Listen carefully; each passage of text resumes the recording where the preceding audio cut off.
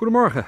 Het is vandaag een bijzondere dag omdat het precies anderhalf jaar geleden is dat ik Stichting Goed Doen voor een ander heb opgericht. Maar het voelt niet helemaal bijzonder omdat ik me de laatste weken toch wat eenzaam voel en dat ik hulp nodig heb. En ik heb vandaag besloten om jullie gewoon even mee te nemen naar een hele bijzondere plek, zodat ik uh, toe kan lichten hoe ik uh, tot deze uitspraak kom. En dit is voor mij die plek en met name daar boven op die berg. Want daar zie je een bankje staan. Daar is die. En daar heb ik heel wat gezeten. En daar ga ik nu ook weer naartoe. Op dat bankje zat ik jaren geleden ongeveer wekelijks. En ik zat toen echt niet lekker in mijn vel. En ik stelde me de vraag toen: stel, ik mag mijn leven opnieuw indelen. Hoe zou ik dat dan doen? Hier kreeg ik het inzicht dat ik mijn geluk wilde baseren op iets doen wat goed voelt. En zo is Stichting Goed Doen voor een Ander ontstaan. En nu doe ik echt iets wat goed voelt. Maar toch voel ik me de laatste tijd wat eenzaam en heb ik echt hulp nodig. Hoe dat komt? Ik heb namelijk besloten om al mijn zekerheden op te geven met één doel.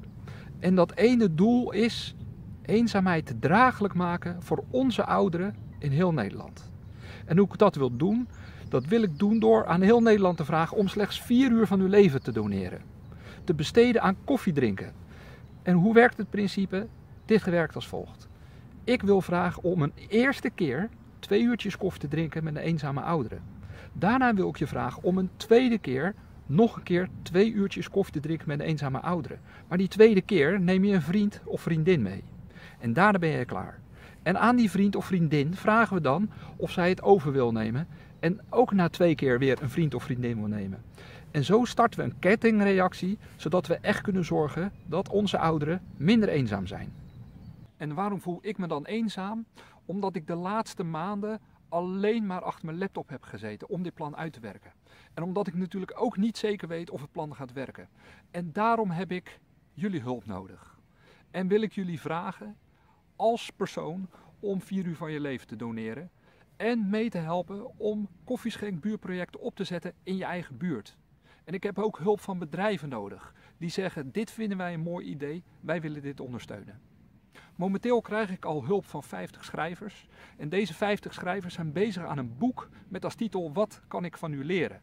En zij gaan momenteel koffie drinken met onze ouderen en stellen die vraag ook. Wat kan ik van u leren?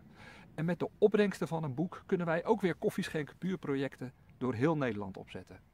Spreek je dit aan? Ga even naar www.koffieschenken.nl en help onze ouderen, zodat zij minder eenzaam zijn.